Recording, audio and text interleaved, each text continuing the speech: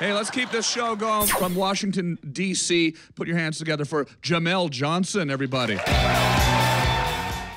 You know what's bugging me now is, just it, white guilt. All right, first off, I love it. Feel guilty. You know what I mean? but that doesn't mean it has to affect the quality of your life. This is what I mean. A, a friend of mine came up to me at a show, a uh, good friend of mine, also a white guy, and uh, he was like, "Hey, you ever see those black guys on the train? You know how they have towels on their shoulder?" And I was like, "We we wear towels off the train as well. You know, no big deal." He said, "Well, I was wondering if I would be racist if I wore a towel." And all I could think when he said it was, "My, how the mighty have fallen." you feel what I'm saying?